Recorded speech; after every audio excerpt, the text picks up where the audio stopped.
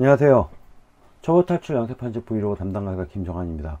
총 16회차 강의 중에서 오늘이 12회차입니다. 그래서 오늘 포함해서 이제 5번 넘은 셈이네요. 어, 처음에 시작할 때는 16번 언제 끝나지 했는데 예, 벌써 거의 마무리 단계에 접어 들어갑니다.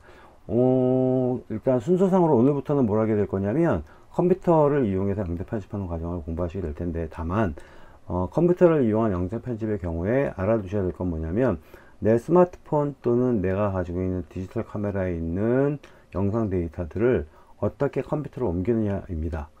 보통 이제 스마트폰 같은 경우에는 사실은 이 데이터 통신이 가능하다 보니까 뭐 정 급하면 뭐 나한테 메일로다가 보내거나 클라우드에 올리거나 이런 걸 이용해서 다시 컴퓨터 다운로드 받을 수도 있겠습니다만 스마트폰 이외에 일반적인 디카를 이용하는 경우, 디지털 카메라를 이용하는 경우에는 그런 작업이 쉽지도 않겠죠. 그런 경우에는 USB 메모리에 보통 데이터를 복사를 하거나 하는 그런 과정을 거치기도 하고 아예 내 스마트폰이나 디지털 카메라에 있는 메모리 카드를 뽑아서 그거를 그냥 컴퓨터에 직접 연결을 해서 데이터를 복사하기도 하고 합니다. 그래서 오늘은 그런 전반적인 과정을 좀 보여드리겠습니다. 일단 제가 주로 사용하는 방법은 저는 USB 메모리를 이용합니다. 제가 주로 사용하는 USB 메모리는 이런 거거든요.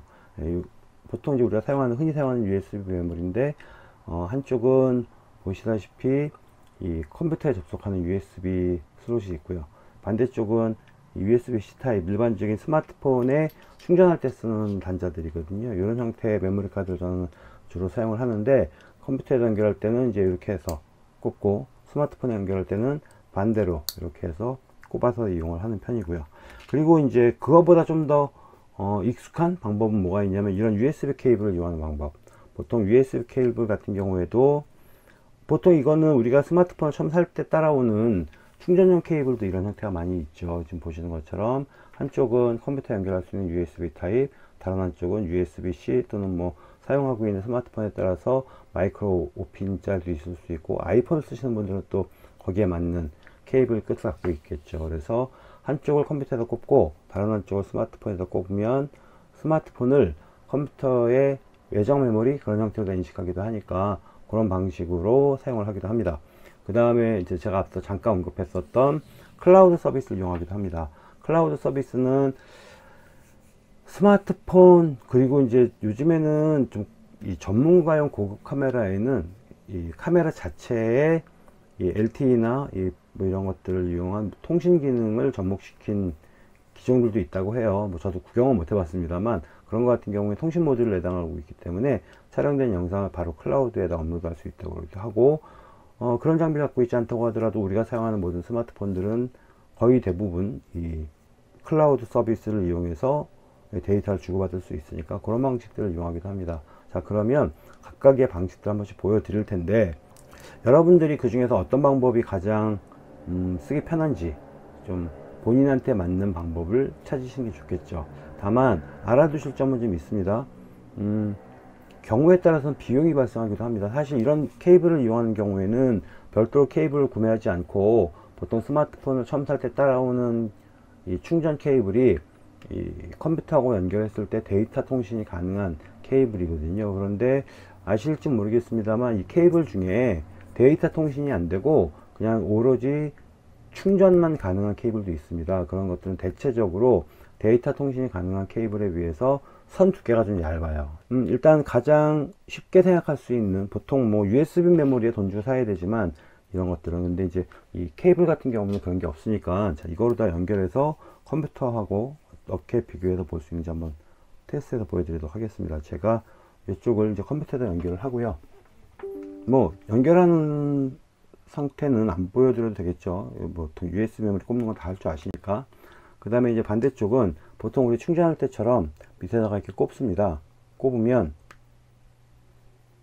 잠시 기다리면 이렇게 지금 보시는 것처럼 휴대전화에서 데이터의 접근을 허용하시겠습니까? 라고 이렇게 물어보는 화면이 뜨거든요. 여기서 당연히 허용을 하셔야겠죠. 그래서 허용 버튼을 누르게 되면 지금 보시는 것처럼 이렇게 컴퓨터 화면에 보시면 네, 내 스마트폰 기종 명칭 보통 이거는 기, 정확하게 말하면 기종 명칭이라기보다는 스마트폰의 이름입니다. 그래서 본인이 스마트폰을 사서 설정창에서 이름을 바꿨을 경우에 그 이름으로 표시가 되기도 합니다. 자, 얘를 열어보시게 되면 더블 클릭해서 열어볼게요. 그러면 이제 보통 이거는 USB 메모리쯤 인식이 돼요. 저 같은 경우에는 음, 내장 메모리가 256기가짜리 이고요. 별도의 SD카드 꼽혀 있지 않습니다. 지금 보시는 이 모델 이렇게 어, 이렇게 flip이 되는 이 모델은 어, 예, 이 외장 SD 카드를 꼽을 수 없는 그래서 메모리 카드를 별도 꼽지 못하고 내장 메모리만 이용할 수 있는 모델이거든요. 그런데 이 스마트폰 중에는 음, 내장 메모리 말고 그러니까 별도로다가 SD 카드를 꼽을 수도 있는 모델들도 있죠. 그런데 보통 꼽는 SD 카드는 보통 어떻게 생겼느냐면 이렇게 생겼죠. 이거는 마이크로 SD라고 불려요. 그래서 이렇게 되어 있고 뒷면지 이렇게 되어 있고 자 화면에서 잘 보이실지 모르겠는데 뒷면에 보이는 이쪽에 보이는 이 핀이 이 데이터를 주고받기 위한 포트에 해당하는 부분이고요. 그 다음에 이쪽에 보시면 이렇게 뭐 용량과 뭐 제조사 이런 것들이 좀 들어가 있죠. 그래서 이 SD 카드도 어떤 걸 쓰느냐에 따라 좀 다른데 여기 좀 보시면 음 어디에 이렇게 적혀 있냐면 보통 속도나 이런 것들이 이쪽에 다 적혀 있어요. 뭐 몇 몇 배속이라고 되는 것들은 뭐 몇 X라고 적혀 있기도 하고 그 다음에 이 레벨로다가 뭐 이쪽에 보면 조그맣게 나와 있는데 얘는 3이라고 적혀 있거든요. 이게 숫자가 높을수록 성능이 더 좋다고 합니다. 근데 뭐 이것까지 구체적으로 알아야 될 필요는 없겠고 보통 이제 구매를 하실 때 어, 동영상 촬영용을 주세요 라고 얘기를 하면은 높은 이 데이터 전송률을 가진 예, 그런 것들을 준다고 하니까 그렇게 해서 구매하시면 될 것 같고요.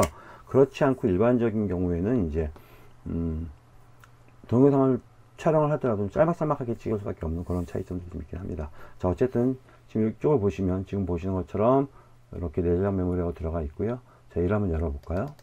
열어보게 되면 뭐가 폴더가 되게 많습니다. 지금 보시는 것처럼 그런데 어, 스마트폰으로 촬영한 모든 영상이나 사진은 어디에 들어가 있냐면 이쪽에 보이는 요 DCIM DCIM이란 폴더를 열어서 보시게 되면 지금 보신 것처럼 상당히 많은 폴더들이 있는데 이 폴더가 뭐냐면 스마트폰에서 보는 앨범이에요 그래서 제 거 앨범을 열어서 보시게 되면 앨범 이름에 앨범 이름에 뭐 카메라, 스크린샷, 뭐 동영상 캡처, 다운로드, 이미지, 카카오 되게 쭉 있는데 그 전부 다 여기 있는 이름들입니다.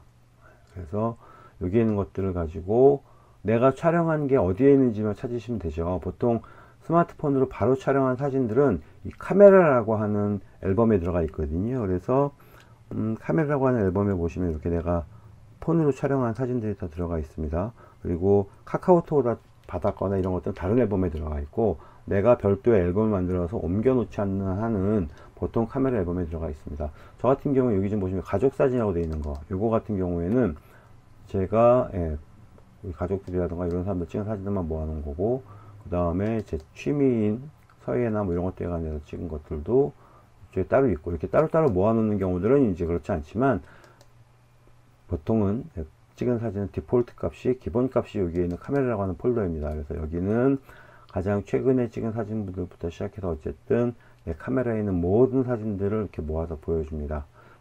필요한 사진들을 복사하거나 뭐 이런 방식으로 사용이 가능하겠죠. 자 그러면 이렇게 있는 사진이나 동영상을 내 컴퓨터로 다 복사하는 방법은 어떻게 되느냐? 제가 여기 있는 사진을 최근에 제가 이렇게 사진 3개를 제가 차를 새로 바꾸면서 예, 기념해서 찍어 놨는데 예, 이 사진을 복사해 오는 걸 한번 보여드리도록 할게요.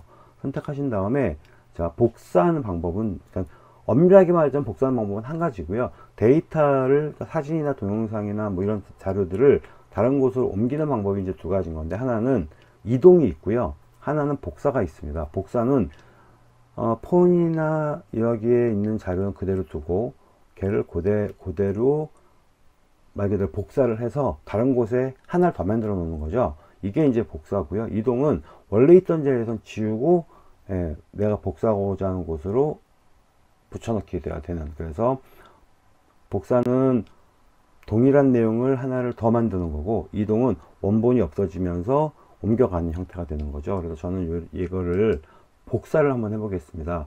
마우스 오른쪽 버튼 눌러서 그러니까 쭉 드래그해서 원하는 만큼 선택하시고요.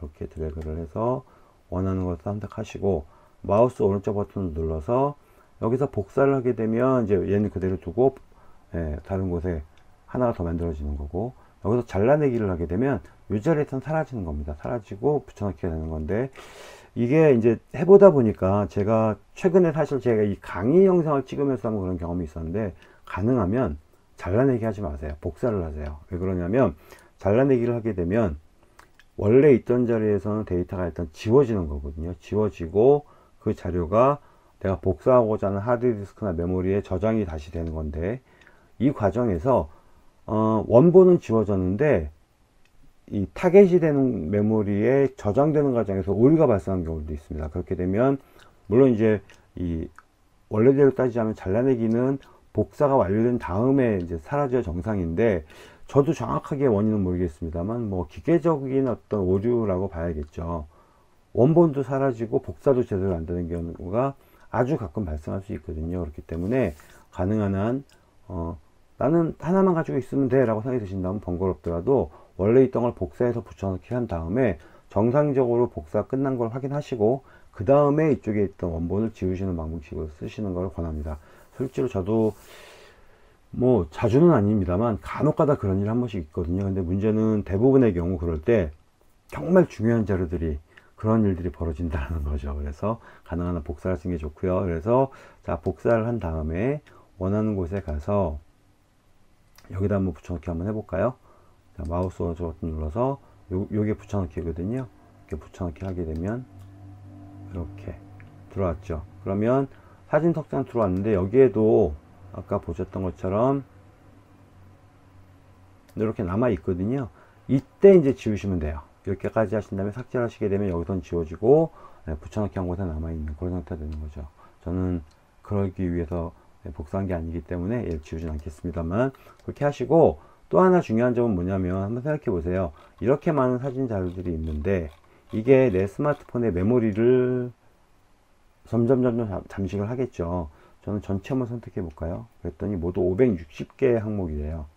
용량이 얼마나 될까요? 마우스 버튼 눌러서 속성 눌러봤더니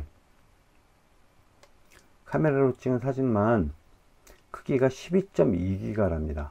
물론 여기는 사진뿐만이 아니고 이제 동영상이 같이 있으니까 굉장히 더큰 거겠습니다만 어쨌든 12.2기가 얘가 지금 256기가짜리 메모리니까 이것도 한 전체 메모리 공간이 한 5% 정도 차지하고 있다는 얘기가 되는 건데 실제로 여러분들께서 스마트폰을 사용하시다 보면 음, 음악을 내 폰에 다운로드 받아서 듣는 분들을 제외하고는 뭐 아니면 영상 같은 거, 뭐 동영상, 뭐 영화나 이런 것들 다운로드 받아서 스마트폰에 저장해 놓고 보시는 경우가 아니라고 한다면 대부분의 경우 스마트폰의 메모리는 이 카메라로 찍은 사진이나 동영상들이 용량을 많이 차지하는 케이스들이 있습니다. 그래서 그건 좀 주의를 좀 하시고 자 이거 다시 한번 보자면 내 PC를 열게 되면 이렇게 지금 보시는 것처럼 이 내가 연결한 스마트폰의 아이콘과 이름이 보이고요. 얘를 더블 클릭해서 열게 되면 이렇게 메모리가 보이는데 지금 요거는 아까도 말씀드렸던 것처럼 별도의 SD카드 꼽지 않기 때문에 내장 메모리 하나만 보입니다만 만약에 메모리 카드 꼽을 수 있는 모델이라고 한다면 이 자리에 예, SD카드 메모리에 해당되는 요 아이콘이 하나 더 나오겠죠. 그럼 뭐 여기서 보이는 것처럼 예, 이런 식으로 필요한 개수만큼 연결되어 있는 개수만큼 보실 수 있습니다. 내 스마트폰에 있는 영상이나 사진들을 다 복사하신 다음에는 이제 얘를 분리해야 되잖아요. 이렇게 USB 케이블로 연결한 경우는 그냥 그냥 작업 빼셔도 되더라고요. 그러니까 우리가 일반적으로 그 USB 메모리 같은 경우는 꼽았다가 뺄 때 언마운트 즉 마운트 해제라고 하는 작업을 해줘야 되는데 어, 스마트폰을 케이블로 연결한 경우에는 그 작업이 따로 필요 없는 것 같아요. 그래서 그냥 이 상태에서 얘를 뽑아주면 예, 자연스럽게 연결 해지가 되고 끝납니다. 이게 이제 가장 첫 번째 방법이고요. 자, 그럼 이제 두 번째 방법을 말씀드릴까요? 두 번째 방법은 이런 USB 메모리를 이용하는 방법입니다. 사실 USB 메모리는 기본적으로 이렇게 생겼죠. 지금 보시면 이렇게 그래서 컴퓨터에 꼽게 USB 포트가 달려 있는 그런 형태로 되어 있는데 사실 어, 이렇게 단일 포트만 있는 USB 메모리로는 불가능하고요. 제 거 같은 경우에는 지금 보시는 것처럼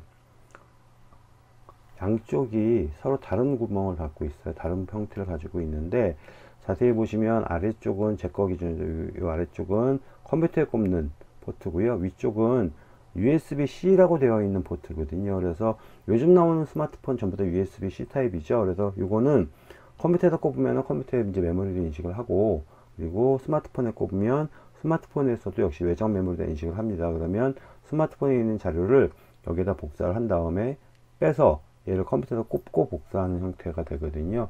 사실 저는 이 방법을 가장 많이 씁니다. 이유가 뭐냐면 뭐 외부에 촬영을 나갔다든지 했을 때 뭐 메모리가 부족하다던가 하는 이유로 급하게 스마트폰에 있는 자료를 지워야 되는 경우도 있을 수 있죠. 그럴 때 물론 어, 스마트폰 기종에 따라서는 이 아까 보여드렸던 SD 카드를 꼽아서 쓸 수 있는 모델들도 있습니다만 그 SD 카드조차도 용량이 무제한은 아니니까 경우에 따라서는 그것조차도 꽉 차서 더 이상 이제 이 저장할 공간이 없다. 메모리가 꽉 찼다. 이럴 경우에는 빨리 비워야 되거든요. 그럴 때 이런 거 하나 용량 좀 적당하게 큰 거를 음, 예비로 갖고 다니시면 예, 긴급하게 사용하기 상당히 좋겠죠.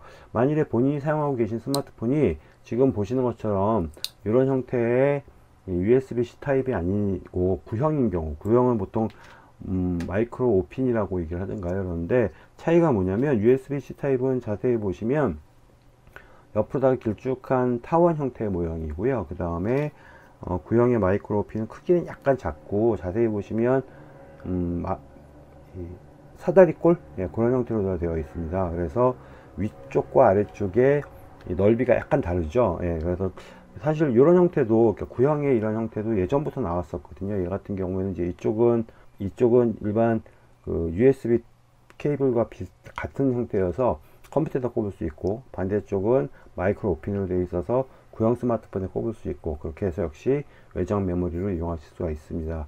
자 일단 이거를 이용해서 복사하는 방법을 좀 보여드리도록 하겠습니다. 자 스마트폰에 얘를 아래쪽에 는 충전 케이블 꼽는 자리에다가 이렇게 꼽습니다. 꼽으면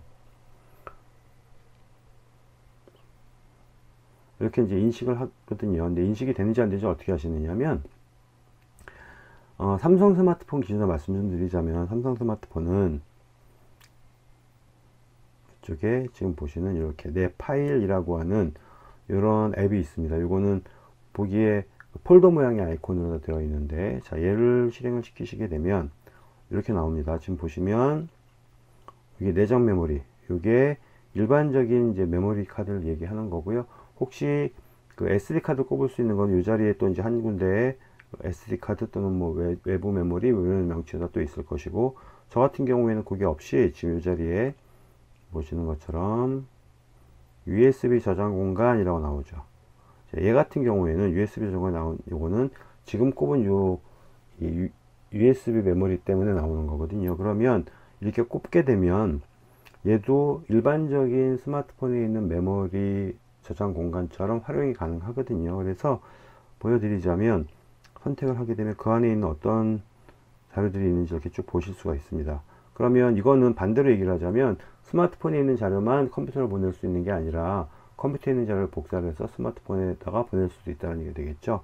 자 그러면 여기다가 이제 제가 음, 사진이나 동영상을 옮기는 방법을 좀 보여드릴게요. 일단 내정 메모리를 들어가서 아까 컴퓨터로 다 봤을 때 DCIM이라고 하는 폴더가 있었고요. 그 안에 카메라라고 하는 폴더를 열게 되면 지금 보시는 것처럼 내 스마트폰에 있는 사진과 동영상이 쭉 보이죠.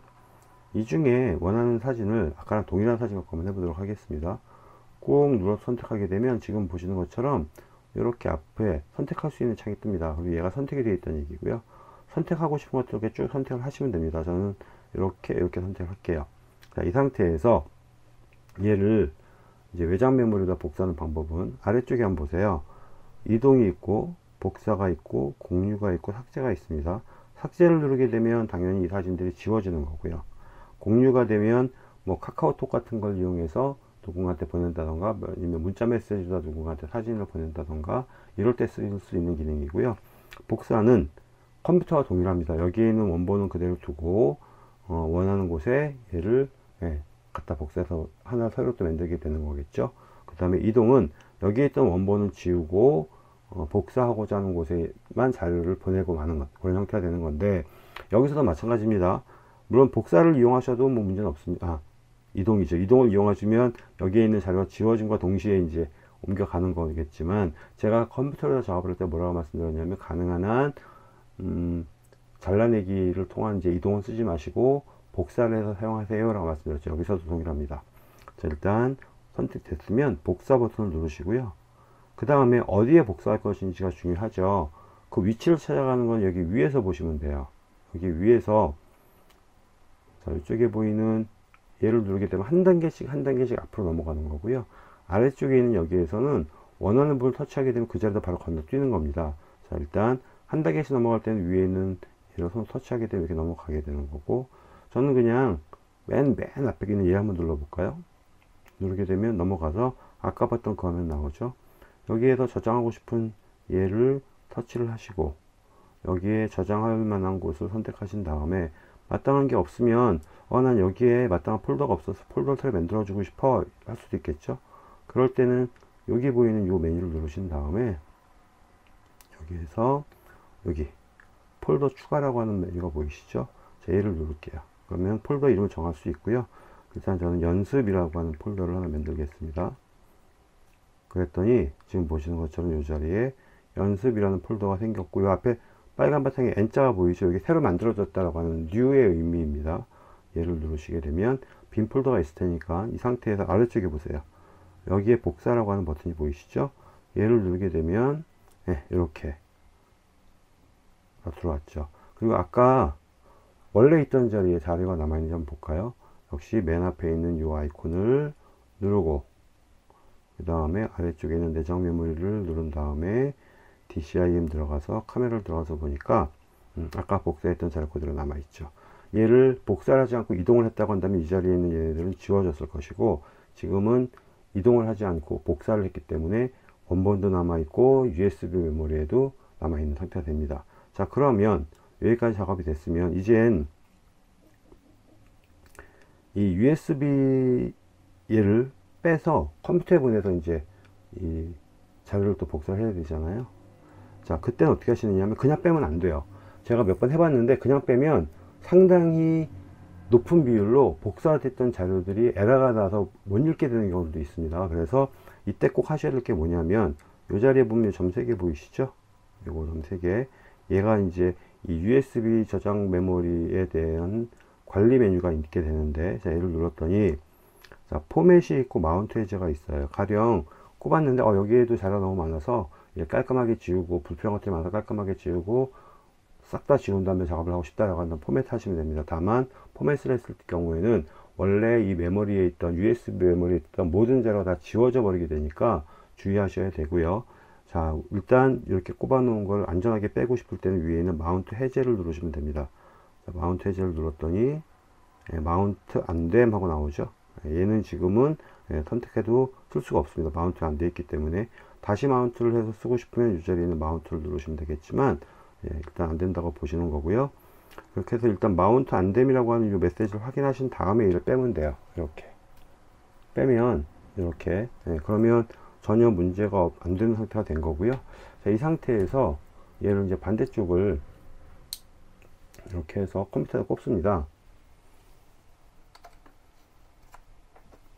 컴퓨터에다 꼽고요. 그 다음에 여기서 지금 보시면 이렇게 USB 드라이브라고 나오죠. 그러면 얘는 일반적인 USB 메모리니까 그냥 그대로 쓰실 수 있죠. 여기서 제가 아까 연습이라고 하는 폴더 만들었었고요. 그 안에 지금 보시는 사진 자료가 이렇게 있습니다. 그러면 이 사진 자료들을 다시 여기서 복사를 하시거나 이때는 이제 어차피 스마트폰에 원본이 남아있으니까 잘라내기를 해도 상관없겠죠. 그렇게 해서 어쨌든 잘라내기를 한 다음에 원하는 곳에다가 음, 여기다가 붙여넣기 하면 되겠죠. 지금은 똑같은 사진들이 있기 때문에 뭐 붙여넣기 하게 되면 이렇게 같은 이름이 파일 같은 이름의 파일이 세 개가 있으니까 붙여넣기 하겠느냐 덮어쓰기 하겠느냐 물어보는 거고요.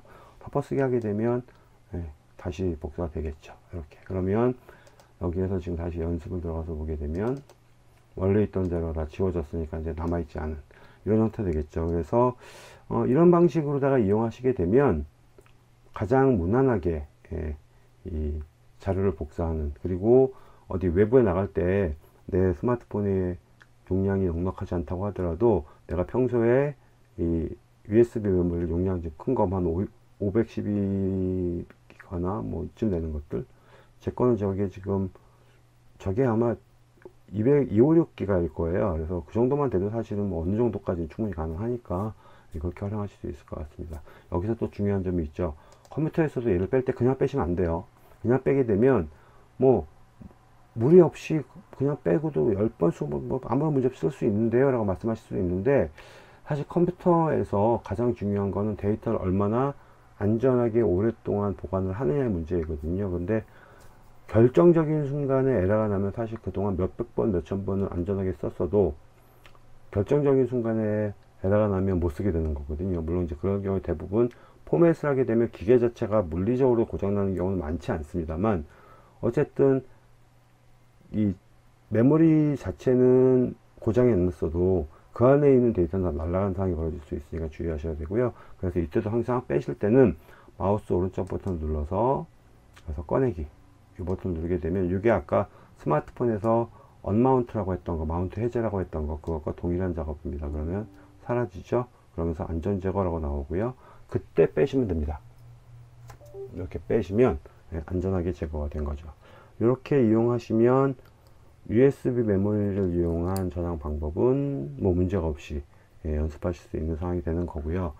그 다음에 이제 나머지 방법이 뭐냐면 마지막 방법은 음, 네트워크 서비스를 이용한 그래서 인터넷을 이용해서 데이터를 주고받는 방법을 좀 보여드릴 텐데 그거는 저는 네이버 클라우드라고 하는 그러니까 요즘에 그게 이름이 네이버 클라우드가 아니라 네이버 마이박스로 바뀌었죠. 얼마 전까지만 해도 네이버 클라우드였었는데 한 1년, 2년 전쯤에 이름이 네이버 마이박스로 바뀌었습니다. 그래서 그게 요 아이콘인데요. 네, 요걸 가지고 어, 자료를 복사하는 방법까지 말씀을 드리겠습니다. 오늘은 이렇게 자료를 스마트폰과 컴퓨터와 사이에 주고받고 하는 것들을 좀 보여드리는 그런 영상이니까 그런 부분들은 사실 뭐 굳이 이 영상 편집뿐만이 아니라 이런 경우들도 있잖아요. 우리가 뭐 강의나 또는 어떤 자료들을 컴퓨터에 있는 자료를 스마트폰으로 옮기고 싶다든지 이럴 때도 충분히 활용할 수 있는 방법이니까 다양하게 활용이 가능할 겁니다. 그러면 잠시 후에 마지막 방법을 말씀드리도록 하겠습니다.